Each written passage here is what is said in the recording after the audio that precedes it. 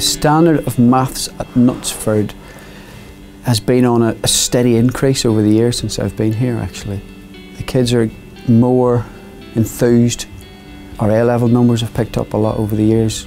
The success comes from a mutual respect between the students and the teachers. We do quite a few activities within the classroom, so actually at the beginning of the lessons we'll do like a starter activity, so it's a bit of a revision. We also have extra courses such as uh, statistics and further maths that we can choose to do at GCSE.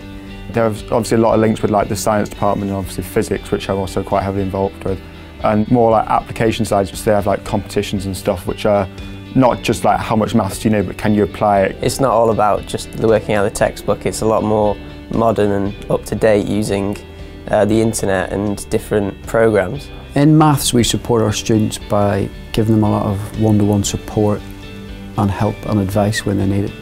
If I find something hard or difficult I will ask the teacher straight away as I always think they're really helpful. The opportunities really allow you to experience like the broadness of what maths can do for you in other subjects and like what the teacher is able to give back to you, whether it's trips or whether it's just like that coming to them for help or then bringing new things to life like books and stuff that just make maths what it is today.